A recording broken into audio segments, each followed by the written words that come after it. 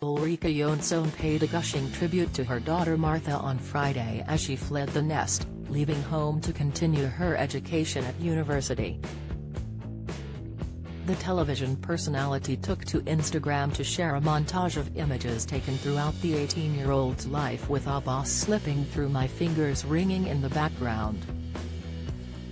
Ulrika, 55, captioned the post, and with that, she's off to uni.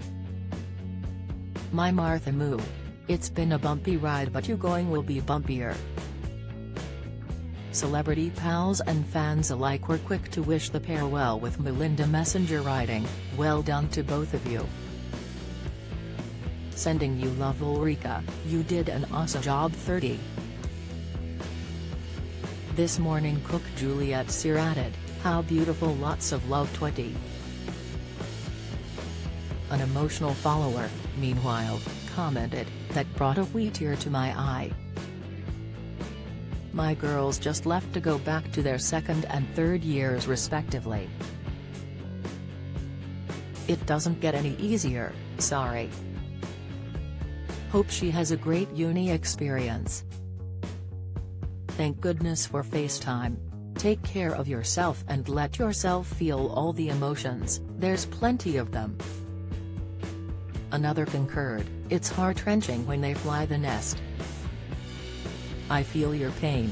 Mine's got one more year and my heart still hurts. Sad old git but true. Hugs. And a third said, they don't stay children for very long. You end up looking at old pictures and wondering where the child you used to read stories to has gone. It's as if they have disappeared and have been replaced with an adult, the transition was so quick. There could be some lonely times ahead for Ulrika after she hit out at a dating app last month after she was apparently kicked off the service during her quest for romance. The former weather woman had her Hinge account removed for no reason, she claimed in an angry Instagram story post. Ulrika shared a screenshot which said she has been banned from using Hinge for violating our terms of service. The infuriated star wrote over the screenshot, nice one at Hinge. No reason, maybe you should spend a bit more time banning the countless catfish I've had to endure. I await your response at Hinge.